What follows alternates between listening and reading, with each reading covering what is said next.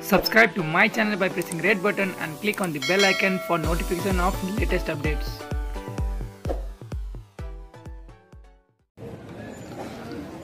भारतको सुप्रिम कोर्टले शनिबार अयोध्याको राम मन्दिर बाबरी मस्जिद विवादको मुद्दामा फैसला सुनाउने भएकाले बिहानैदेखि नेपालगञ्ज नाका बन्द गरेको छ सीमामा घुसपैठ हुन सक्ने जनाउँदै भारतीय सुरक्षाकर्मीले नेपाली पक्षलाई जानकारी नगराएर शनिबार बिहानदेखि उक्त नाका ठप्प पारेको हो।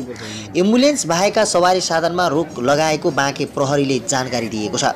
मानिसको हिँडुलमा समेत कडाइ गरिएपछि ओहोर दोहोर गर्न समस्या भएको प्रहरीको भनाइरहेको छ। सीमामा भएको कडाइबारे नेपाली पक्षलाई पूर्व जानकारी नदिएपछि नाका कहिलेसम्मको लागि बन्द गरिएको हो केही खुल्न भने सकेको छैन। भारतले भारतको सर्वोच्च अदालतले अबको डेढ घन्टापछि ऐतिहासिक फैसला गर्दैछ। राम जन्मभूमि बाबरी मस्जिद जमिन विवादको फैसला हुँदै गर्दा उत्तरी प्रदेशसँग सीमा जोडिएको नेपाली भूभागमा सुरक्षा सतर्कता अपनाइएको छ।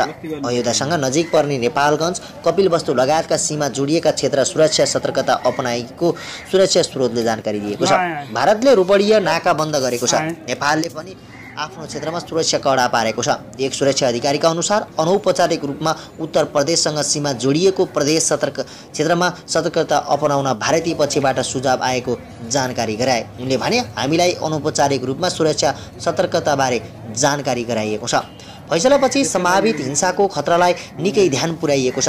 भारतका प्रधान न्यायाधीश रञ्जन गोगोईले शुक्रबार साँझ उत्तर प्रदेशका सुरक्षा प्रमुखहरूसँग भेटेर सुरक्षा अवस्थाको जानकारी लिएका थिए। यो आफैमा गम्भीर विषय हो।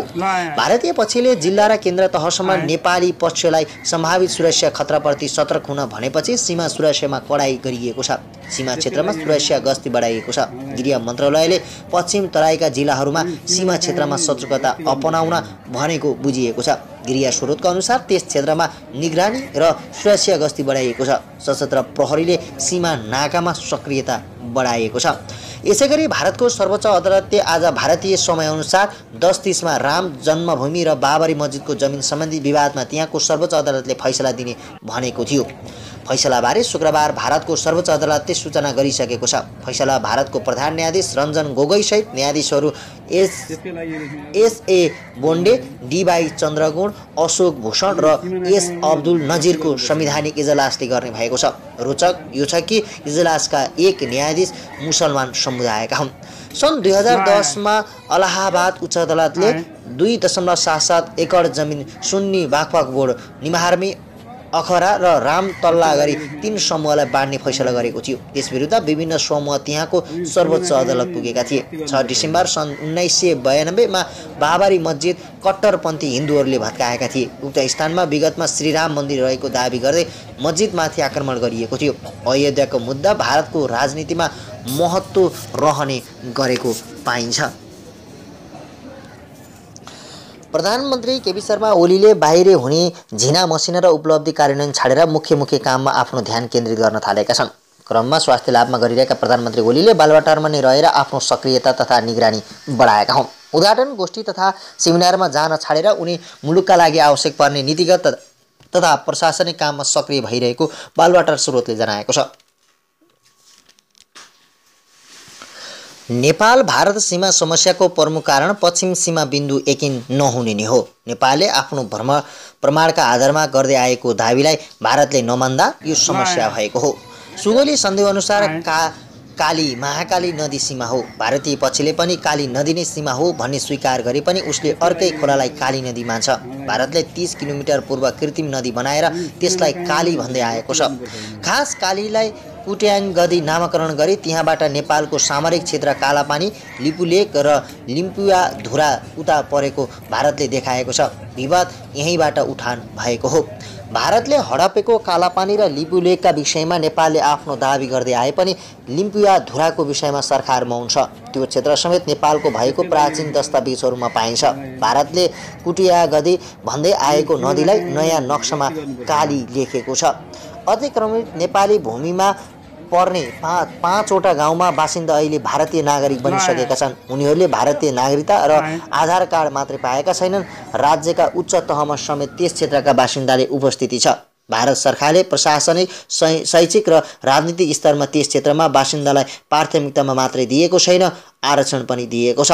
नेपालको पश्चिमी सिमाना काली नदीमै भएको केही तथ्य फेला परेका छन्। नेपाल र इस्ट इन्डिया कम्पनीबीच भएको सुगौली सन्धि र प्रत्यावर्तन सन्धिले काली नदी सीमा तोकेको छ। नेपाल र चीनबीच भएको सन्धिको दफा एकको उपदफा एकमा चीनसँगको नेपालको पश्चिम सीमारेखा काली नदी र तिङ्कर नदीको पानी तल्लो सम्मिलित भएको स्थानबाट प्रारम्भ हुन्छ भनिएको छ। सो दफामा यो दक्षिणापूर्वकाली कर्णाली माचपु नदीका सहायक नदी तथा तिर्कर नदी र सेती नदीको पानी ढलो हुँदै लिपुधुरा हिमालको श्रृङ्खला र लिपुधुरा तिङ्कर लिपु भन्ज्याङबाट गुजरी उराई पेलिहिन भन्ज्याङतर्फ जान्छ भनिएको छ। भारतमा शासन गरेको इस्ट इन्डिया कम्पनीद्वारा सन् अठार सय सत्ताइस फेब्रुअरी एकमा प्रकाशित गढवाल कुमाऊको नक्सामा प्रष्ट रूपमा काली महाकाली नदीको उद्गम स्थल लिम्पुवाधुरा देखाइएको छ।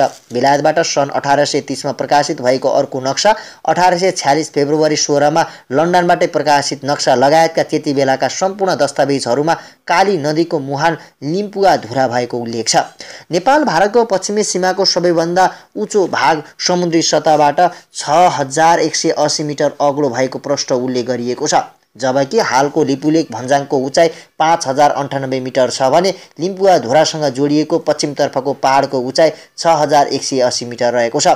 स्केच अफ कुमाऊमा अठार सय उन्नाइस क्याप्टन डब्लुएस बेबले राखेको नक्सामा लिम्पुवा धुराबाट आउने नदीलाई काली नदी भनिएको छ। इन्डो ब्रिटिस अठार सय चौतिस डिआर डिआर बिजिएफएसले तयार पारेको स्टाइल हेड एटलसको रूपमा जर्मनीबाट प्रकाशित नक्सामा पनि लिम्पुवा धुराबाट आउने नदीलाई काली नदी भनी देखाइएको छ। सन् अठार सय सैँतिसमा जेबी टानिसबाट फारसी लिपि प्रयोग गरी प्रकाशित एङ्ग्लो एडिएसन म्यापमा पनि लिम्पुवा धुराबाट आउने नदीलाई काली नदी भनी देखाइएको छ। सन् अठार सय साठीमा प्रत्यावर्तन सन्धि हुगाबै हुगाबै अठार सय छप्पन्नमा सर्वे अफ इन्डियाबाट प्रकाशित र अङ्ग्रेजहरूको समेत आधिकारिक मानेको नक्सामा पनि लिम्पुवा धुराबाट बग्ने नदीलाई काली नदी मानेको पाइन्छ। यसै नक्सालाई जङ्गबहादुर राणाको पालादेखि नेपालले आधिकारिक मान्दै आएको छ।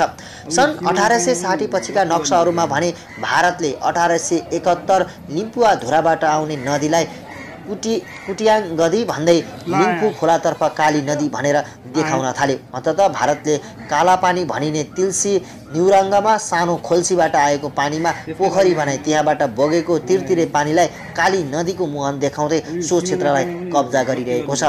कालापानी लिपुलेको क्षेत्र बैसठी किलोमिटर छ भने लिम्पुवा धुराको तिन सय दस वर्ग किलोमिटर भारतकै कब्जामा छ। भारतले जारी गरेको नक्सामा पछिल्लो दस दशकदेखिको निरन्तर रहेको खुल्न आएको छ। सन् अठा उन्नाइस सय बैसठीमा औपचारिक कालापानीमा भारतले आफ्नो सेना राखेको सत्ताइसौँ वर्ष बित्यो तर त्यसको चार वर्ष अघि उन्नाइस सय एक उन्साठीमा नै भारतले प्रहरीको सो क्षेत्रमा क्याम्प रहेको तत्कालीन सांसद बहादुर सिंह यत बाहुले दुई हजार एकतिस सालमा तत्कालीन राष्ट्रिय पञ्चायतको अधिवेशनमा बताएको रेकर्ड छ। भारत सरकारद्वारा हालै सार्वजनिक नयाँ नक्सामा उसले पहिलेदेखि अतिक्रमण गर्दै आएको नेपालको लिम्पुया धुरादेखि लिपुलेकसम्मको समग्र कालापानी क्षेत्रमा पर्ने भूभागलाई भारतमा गाभिएको छ। दुई हजार अठार सालमा भैरव सिलसिला व्यासको क्षेत्रको जनगणना गर्दै जाँदा कुटी नाभि र गुन्जी गाउँको जनगणना गरेको थियो। जुन क्षेत्र हाल भारततिर पारिएको राप्रपा दार्चुलाका अध्यक्ष वीर सिंह वडाले बताए। औपचारिक रूपमा दुई हजार उन्नाइस सालमा नेपाल चीन सीमाङ्क गर्दा नेपाली सेनाका कर्णेल शम्भु शमशेर राणाले कालापानीमा पुग्दा भारतीय प्रहरी त्यहाँ रहेको पाएका थिए। उनले दुई हजार उन्नाइस सालमै तत्कालीन प्र परराष्ट्र मन्त्री ऋषिकेश शाहले कालापानीमा भारतीय प्रहरी रहेको कुरा राजा महेन्द्रलाई जानकारी गराएका थिए। त्यसैताको दस वर्ष यो विषयमा खासै कुरा उठाइएन। दुई हजार तिस सालमा परराष्ट्र र गृह मन्त्रालयले कालापानीमा भारतीय सैनिक भए नभएको जाँचबुझ गरी प्रतिवेदन पेश गर्न टोली गठन गरेको थियो। दुई हजार एकतिस सालमा दार्चुलाबाट राष्ट्रिय पञ्चायतमा निर्वाचित यत वाहलले कालापानीमा भारतीय सेनाको क्याम्प राखेर बसेको भनेर सरकारलाई औपचारिक अवगत गराएका थिए। त्यसै गरी दुई हजार छत्तिसदेखि दुई हजार अडतिस सालसम्म दार्चुलाका प्रमुख जिल्ला अधिकारी भई काम गरेका पूर्व सचिव डाक्टर द्वारिका प्रसाद ढुङ्गेलले लिम्पुवा धुरा कालापानी क्षेत्रमा भारतीय सैनिकहरूको कब्जा रहेको रिपोर्टिङ सरकारलाई गरेका थिए। दुई हजार साल नौ नक्सा बनाउँदा गएका नेपाली अनमिनलाई भारतीय सेनाले नक्सा बनाउन नदिई फिर्ता पठाएको थियो।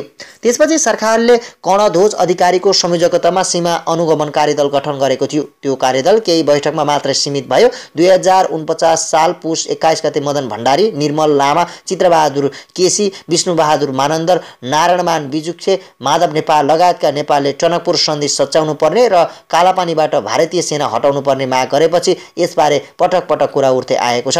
दुई हजार त्रिपन्न सालमा दार्चुलाबाट निर्वाचित सांसद प्रेमसिंह धामी मृत्यु भइसकेकाले महाकालीको मुहान लिम्पुवा धुरा भएको दावी गर्दै दार्चुला जिल्ला मालपुर कार्यालयमा भएका त्यस सम्बन्धी प्रमाण संसदमा पेश गरेपछि यसले राष्ट्रिय मुद्दाको रूप लियो। यसलाई नेपालको नेपालले भारतको हेपा प्रवृत्ति र दादागिरी भन्दै नेपाली भूमिबाट ऊ फर्किनुपर्ने माग राख्दै आएका छन्।